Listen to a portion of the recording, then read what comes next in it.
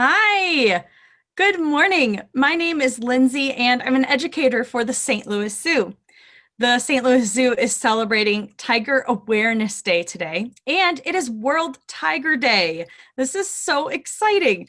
I would like to point out that I am wearing a mask. Mine is lowered though, because I'm not sharing space with anyone, and I'm presenting this webinar from my home. In a little bit, though, we will connect to my friend and coworker Connor, who is on grounds at the St. Louis Zoo. All about tigers, Tiger Awareness Day at the St. Louis Zoo, and World Tiger Day around the world. So we have two Amur tigers at the St. Louis Zoo. We have Waldemir, or commonly known as Waldo. He's our male. And Callista, who is our female. And here's another image. So our tigers really enjoy engaging with their enrichment. This is an image of, I believe, Waldo with a boomer ball. And these are safe that they can play with and have fun. But who else loves to swim? Do we all know that tigers really enjoy and are great at swimming? But there are some other big cats that love to swim. Kim just kicked up a poll for you all to take. Which cat, besides the tiger, loves to swim? Is it the lion, the jaguar, or the leopard? Oh, some friends said lion, some others said leopard. Guess what? It is the jaguar. Jaguars love to swim. So let's see some images. Here's Callista swimming in her pool at the St. Louis Zoo. And here's Waldo. I especially love this picture. Look at his eyes. Oh, he looks like he's enjoying himself.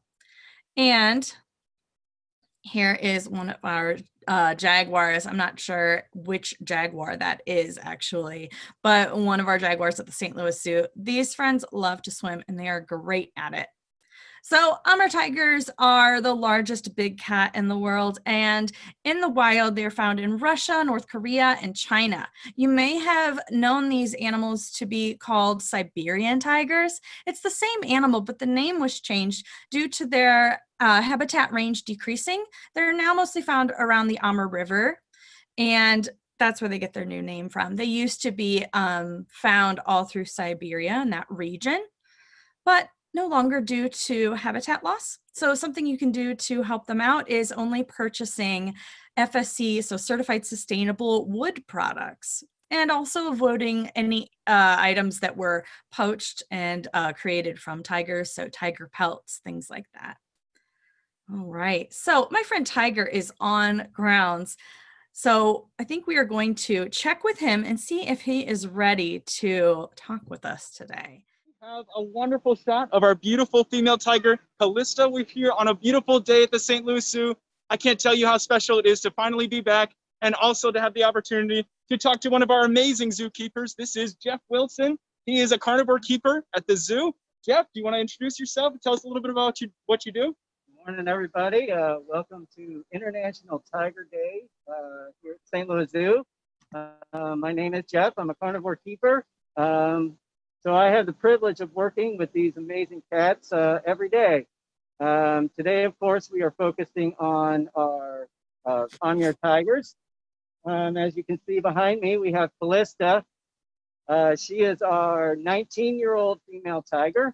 Um, and we also have Waldemir. Uh, he's inside right now. He's our 16-year-old uh, male tiger. Um, Callista was born in Philadelphia. Uh, she came to us when she was only about three years old. She's lived here a long time. And uh, sorry, my mask keeps falling. um, Waldo, uh, he came to us about nine years ago. Um, so uh, you may wonder why, when you come here, that the you'll only see one tiger at a time. Um, the reason for that is in the wild, tigers are primarily solitary. So you don't see them living in groups. Um, and here it's the same. So we do rotate them twice a day. Uh, so everybody gets plenty of outside time. Um, so we somebody's out overnight and then we bring them in first thing in the morning and then they go out uh, and then we swap them again at the end of the day. So um, and then actually every week we will swap them uh, so that they uh, one a different one is out during the day and night. Um, so we want to make sure everybody gets plenty of uh, uh, outside time. Um, Callista actually has had uh, six cubs total in her life. Um, if anybody was lucky enough to be visiting in 2008 when she had her uh, her uh, litter of five, um, that was quite quite an amazing thing to watch and to experience.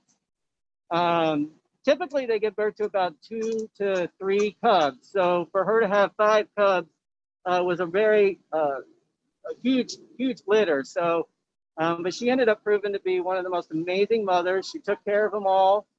Um, and they have all since gone on to other zoos um, where uh, I believe three of them have had cubs of their own. So she's a grandma. Um, Now, we said earlier tigers are the biggest of all the cats alive today. Can you give us a little perspective on what that means? How much do these animals eat and how much do they weigh? Uh, so Callista is about 250 pounds. Um, the females are a little bit smaller than the males, uh, where Waldo is around uh, 330 pounds. Um, so she eats about, uh, she gets about six and a half pounds of meat a day, uh, whereas Waldo gets about uh, seven, seven and a half to eight pounds a day. Um, so they usually get a ground meat as their basic diet. Um, but then also some days they'll get bones or they'll get um, uh, whole prey, which is like rabbits or uh, rats. Um, you know, cats can be very picky, so some of them will uh, choose to eat some items over another. We have cats that like fish and some that don't. We have cats that like um, mice, some that don't. So um, it's it's pretty pretty interesting. Um, we are able to get regular weights on them, so everybody is trained uh, to get on scales so we can monitor their weight and their overall health. Yeah. So obviously training a tiger is no easy feat, um, but what are some of the behaviors that these tigers are trained to do to better their, their own health and welfare? Yeah, we do a lot of training here, um, and all of our training is uh, positive reinforcement, and it's also voluntary, which means if the animal does not feel like training that day, they don't have to. Um, and then everything we do is for is positively reinforced. Um, so some of our training is um, it can be very simple, like uh, target training, or like I said, getting on a scale, so we can do that. Um, and the tigers have actually uh, we they do they do more complex training, such as blood draws and injections. So um, we do not enter with any of our animals, so everything we have to do is protective contact um, but we are able to pull their tail out and draw blood from that, um, which is really, really important for their overall health. And so our vet staff can get regular blood um, to, to assess their health um, long term. Very, very cool. Well, thank you so much, Jeff. This has been such a neat experience. We are so fortunate to have Callista front and center ready to join us in this webinar. I'm going to bring our camera a little bit closer so we can get a good look at her today.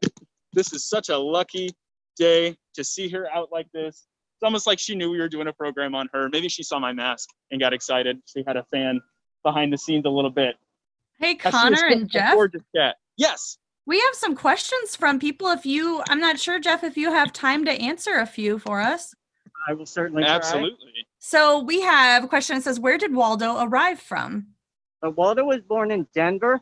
He came to us in 2011. Nice. So from the Denver Zoo? Yes. And then someone else asked, What is your favorite thing about working with tigers? you know, both of our tigers are very personable, um, and, which is very, very lucky. Uh, Callista, uh, she loves getting uh, attention, so you can often see her running around trying to get a keeper's attention. Um, Waldo is a little bit more uh, reserved, but you know he's always good for a greeting. Um, so I will have to say, just walking in in the morning and having both tigers come over and chuff at you and basically greet you good morning is just a great way to start the day. Now, can you explain what chuffing is? Chuffing is a vocalization that tigers will do. Um, it's a like a positive greeting. So when they're very happy to see somebody, or whether it's another tiger or a keeper, um, they will make this vocalization. Um, I, I can't duplicate it, but um, uh, that that's the way they say hello. Oh, that's exciting. Thank you for telling us more about that. Um, and someone else said, kind of on that note, how loud is a tiger roar? Um, you know, and can, and they purr. Are they a type of cat that purrs? Uh, tigers, uh, they can roar pretty loud. It's it's not like it's not like a lion, uh, which you can hear from a mile away. Um, but they do have a couple of different uh, vocalizations, um, and they have a long call vocalization, which is how they would communicate to you know another tiger that this is their territory. Um, so yeah. Um, one of the other questions too that I didn't want to try to guess, um, how maybe you answered already and I missed it, but how old are each of our tigers and how long do they live generally? Uh, is 19 and Waldo is 17. Um, tigers, uh, most of the big cats typically live to be upper teens to low 20s. Oh, did I ask you? Yeah, I think someone was wondering how long have you been a zookeeper and have you always worked with carnivores? Uh, I, I've been a zookeeper for 30 years now. Um, and no, I started in the children's zoo um, as a summer uh, keeper, and I worked there for six years. I moved to um, the primate unit, and I did that for eight years, and now I've been in the carnivore unit ever since. One question was you mentioned um, her having cubs. Was Waldo the father of those cubs then? Uh, Waldo is not the father of the five cubs. That was another male uh, named Kuntami that we uh, that came here from Omaha. Um, but after Kuntami left uh, and all the cubs left, we brought in Waldo, and um, he gave they gave birth to a single cub uh, at that point. So that's the only one they had together. Cool. Well, me see. Any final questions if anyone has one, you can throw it up in the chat or in the Q&A really quickly. But otherwise, thank you so much, Jeff, for joining us today. Is there anything conservation-wise you would like everyone to know about how they can help tigers in the wild at home? Um, you know, most uh, AZA institutions have lots of different conservation projects you can support. Um, you know, one of the, the big factors with tigers is habitat loss, um, and a lot of that can be due to some palm oil. Um, so there are lots of companies that do responsible, sustainable palm oil. Um, so uh, buying those products can go a long way with helping tiger conservation. Yeah, thank you so much. Uh, we're really excited that you were able to join us today. You're welcome. Thank you so much for giving us a little bit of your time out of your busy schedule. I know this is such a full-time job and we really appreciate you doing it. We have such an amazing keeper staff here and we're so fortunate to be based in St. Louis at this wonderful zoo. So thank you again. Uh, see you all here. Have a great rest of your day, everybody. Well, that was exciting. Yay. I personally haven't been to the zoo anytime recently. So I know it's super exciting for me to see the animals. I'm hoping to get in soon. And remember, you can make your reservations online or by phone. They're free. You just have to make sure to call and notify the zoo so that we know how many people are coming and we can give you a special reserved and timed spot to come visit. So um, I'm going to check the Q&A one more time before we sign off to make sure we have some questions answered. Now, I know someone was asking about tiger size, but tigers are the largest cats of the big cats. Now, they might not be as tall. A lion might be a little bit taller, but tigers weight-wise and length-wise are larger, which is kind of cool. And yeah, a lot of friends don't know that. What's really neat about tigers is that their stripes are not symmetrical from side to side. And I thought that was a really interesting fact. Also, Amur tigers, since they're from areas of the world that are really cold, they'll have a thicker fluff or neck scarf, is what they like to call it, um, around their neck than tigers that are from farther south where it's warmer. So you'll see this a lot more fluff. And also, their stripes are fewer than other tiger subspecies. Well, thank you all so much for coming. I know I had a lot of fun today. And if you ever have any more questions or things for us, please let us know. Find our website at stlzoo.org and you can submit questions to us. All right.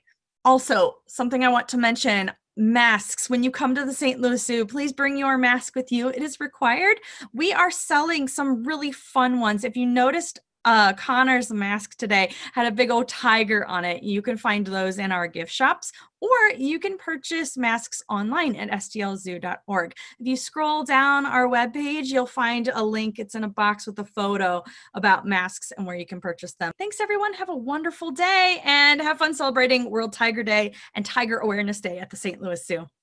Bye. Thank you.